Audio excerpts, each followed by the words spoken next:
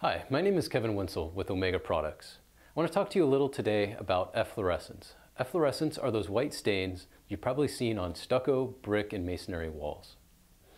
Efflorescence is a natural phenomenon that can occur on any cement-based product, particularly with freshly applied material.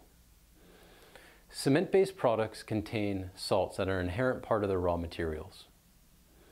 During periods of wet weather, moisture can cause these salts to travel to the surface of the wall, turning them white. Although this white residue can be visually unpleasing, it's a common natural occurrence and does no harm to the wall assembly itself. While only aesthetic, most people probably would prefer not to have stains on their walls. As a leader in the stucco industry, Omega Products has developed a product called EFX that can greatly reduce the appearance of efflorescence. With that, I will turn it over to Louis Corpolongo to talk more about EFX.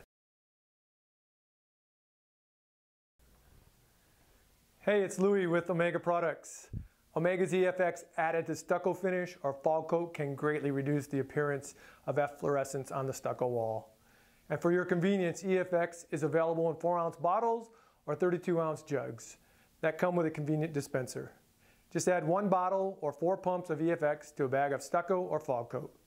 If you have any questions on EFX or any other Omega products, contact your local sales rep or visit us at www.omega-products.com. Thank you, have a great day, and as always, we appreciate your business.